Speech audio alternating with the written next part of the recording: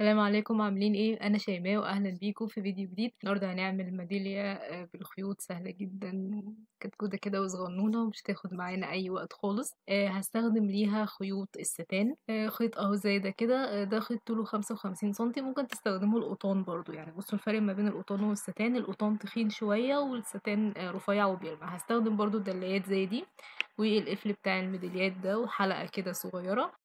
آه، أول حاجة هتجيب الخيط وهساوي الطرفين كده وهلسعهم بالولاعة عشان ما يضايقنيش وأنا شغالة يعني. طيب دلوقتي بقى هجيب القفل أهو هساوي الطرفين اهم وهدخلهم في الخرم بتاع القفل ده. زي ما أنتم شايفين كده. طيب بعد ما دخلتهم بقى بصوا بشده إزاي وبخلي الطرف المقفول ده عندي كده. طيب الطرف المقفول ده لازم أخلي طوله خمسة سنتي بس ما يزيدش عن كده وما يقلش عن كده. في القطان ممكن نخليه ستة سنتي لأن القطان أتخن شوية فبياخد مساحة في الشغل. فهخلي ده خمسة هقيسه بقى إزاي؟ أهو بصوا كده. طيب هو هنا ستة طويل شوية فهشده كده من عند الخيوط الطويلة هقصره. فكده خلاص أهو بقى خمسة. هبتدي بقى أشتغل آه، عادي خالص بطريقة المكرمية هجيب الخيط اللي على الشمال فوق الخيط اللي في النص المقفول ده والتاني فوقيه أهو. تعالوا نحطها كده عشان تبقى واضحة أكتر. طب الخيط اللي على الشمال فوق الخيط المقفول شايفين فوق الخيط القصير والتاني بقى فوقيه أهو وبعدين هجيب ده بقى هدخله من تحت الخيط اللي في النص ده اللي هو الدايرة المقفولة دي وهدخله بقى إيه جوه الدايرة التانية دي من تحت تمام كده؟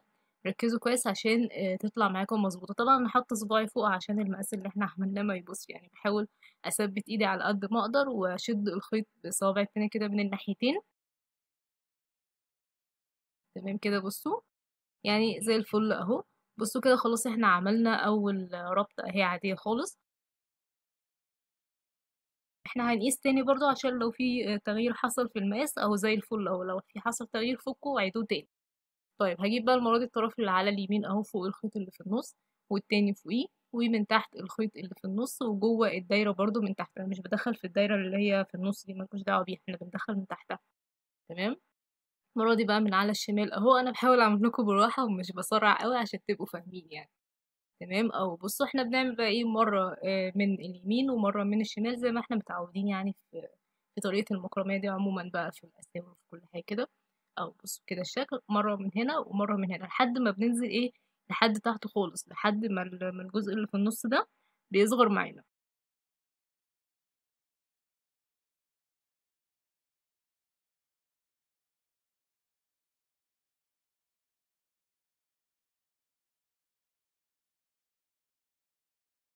طيب بصوا بقى كده إحنا بنوصل للآخر أهو. أه بحاول بقى أخليها يعني أستخدم الخيط على قد ما أقدر يعني حتى لو صغير قوي. بصوا بحاول أظبطه برضو أه متعب شوية بس إيه أه هيتعمل يعني. دي كده خلاص آخر حاجة الخيط صغير خالص بس عادي قشطة يعني زي الفل. خلاص بقى كده بنبتدي نشد. بصوا بقى الحلقة اللي عندنا بقت صغنونة خالص إزاي؟ إحنا عايزينها بس تدخل الميدالية هقص بقى الأطراف دي. وهلسعهم بالولاعة عادي خالص. أهو.